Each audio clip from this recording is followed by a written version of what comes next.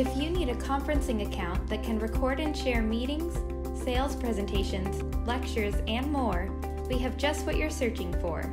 Learn how to access and share recordings with freeconferencecall.com. First, log into your account. Select Profile and go to History and Recordings. Select the Share arrow next to the recording. Copy the link.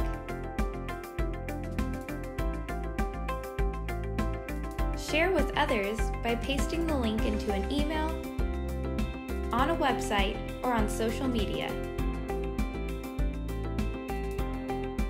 Once participants click the link, they will see the playback page with the pre-recorded meeting. For more helpful tips, go to freeconferencecall.com forward slash support or follow us on social media.